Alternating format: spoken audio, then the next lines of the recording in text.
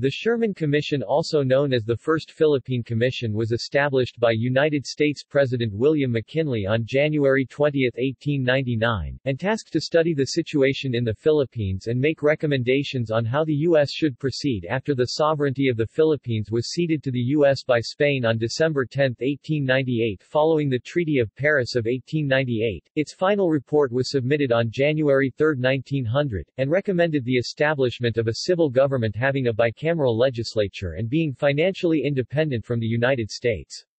The report also recommended the establishment of a system of public education. Background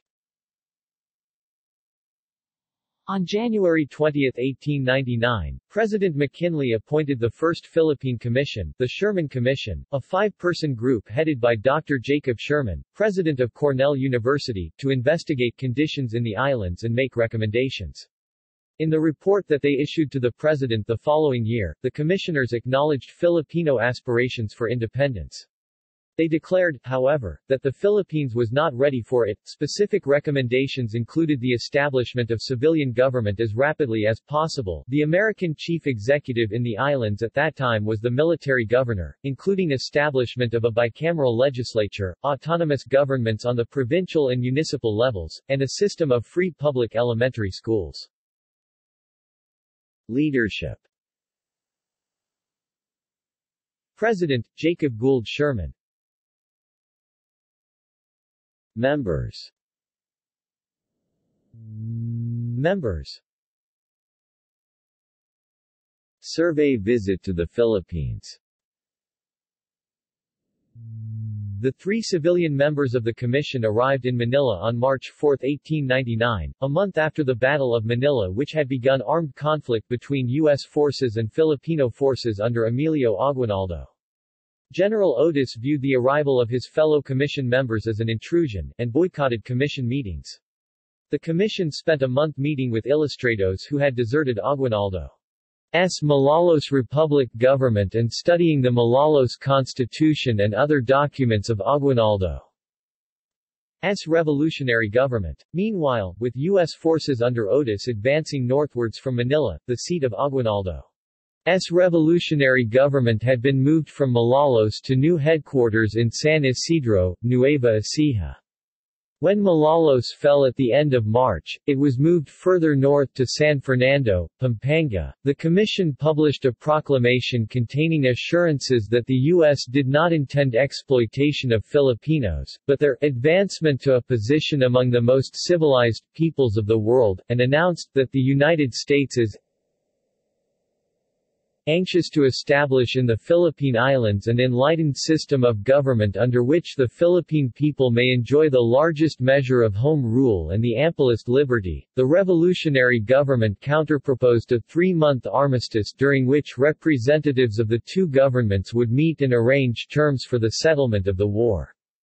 President McKinley S. instructions to the Commission issued in Washington before the outbreak of hostilities had not authorized it to discuss an armistice. Meetings in April with Aguinaldo's representative, Colonel Manuel Arguelles, convinced the Commission that Filipinos wanted concrete information on the governmental role they would be allowed to play, and the Commission requested authorization from McKinley to offer a specific plan. McKinley authorized an offer of a government consisting of a Governor-General appointed by the President, Cabinet appointed by the Governor-General, and a General Advisory Council elected by the people. McKinley also promised Filipinos the largest measure of local self-government consistent with peace and good order with the caveat that U.S. constitutional considerations required that Congress would need to make specific rules and regulations. A session of the Revolutionary Congress convened by Aguinaldo voted unanimously to cease fighting and accept peace on the basis of McKinley's proposal. The revolutionary cabinet headed by Apolinario Mabini was replaced on May 8 by a new peace Cabinet headed by Pedro Paterno, and Felipe Buencamino.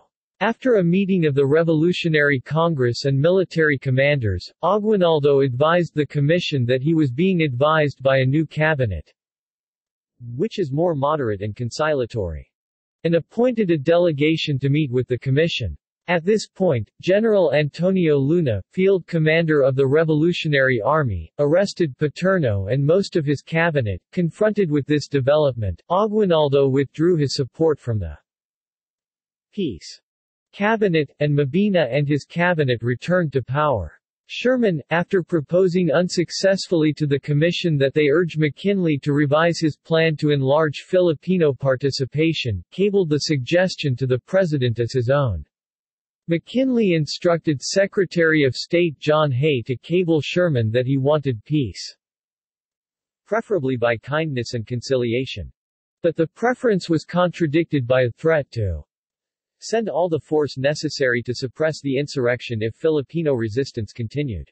McKinley also polled the other commission members, receiving a response that indecision now would be fatal, and urging Prosecution of the war until the insurgents submit. Conclusions The Commission concluded that the United States cannot withdraw. We are there and duty binds us to remain. The Filipinos are wholly unprepared for independence, there being no Philippine nation, but only a collection of different peoples. See also. Congress of the Philippines. Senate of the Philippines. House of Representatives of the Philippines. Notes. United States, Philippine Commission 1899 to 1900 1900 Report of the Philippine Commission to the President, January 31, 1900, December 20, 1900, Volume 1, Number 1. References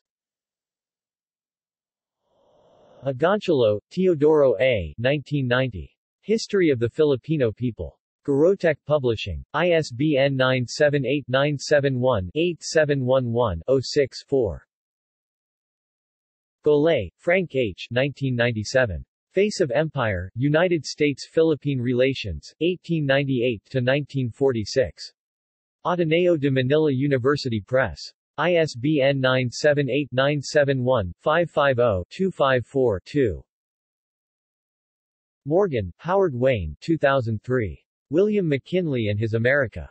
Kent State University Press. ISBN 978-0-87338-765-1. Sagmat, Rosario S., Sagmat Mendoza, Lourdes 2007. The Filipino Moving Onward 5 feet 2007 ed. Rex Bookstore, Inc., ISBN 978-971-23-4154-0. Zaide, Sonia M. 1994. The Philippines, A Unique Nation. All Nations Publishing Co. ISBN 971-642-071-4. Further reading Elliott, Charles Burke 1917. Appendix B, Instructions of the President to the Schurman Commission. The Philippines, to the End of the Commission Government, A Study in Tropical Democracy pp. 484-485. Moser, Maynard 1982. Jacob Gould Schurman Scholar, political activist, and ambassador of goodwill, 1892-1942. Air Publishing. ISBN 978-0-405-14100-3. Noyes, Theodore Williams 2008. 21. The Schurman Paradox. Oriental America and its Problems. BiblioBazaar, LLC. ISBN 978-0-554-52946-2.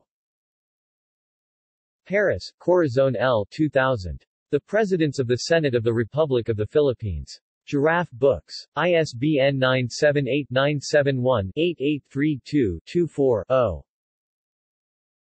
Pobre, Cesar P. 2000. Philippine Legislature, 100 Years. Philippine Historical Association in cooperation with New Day Publishers. ISBN 978-971-92245-0-1. Schurman, Jacob Gould 1902. Philippine Affairs, A Retrospect and Outlook, an Address. New York, C. Scribner Sons.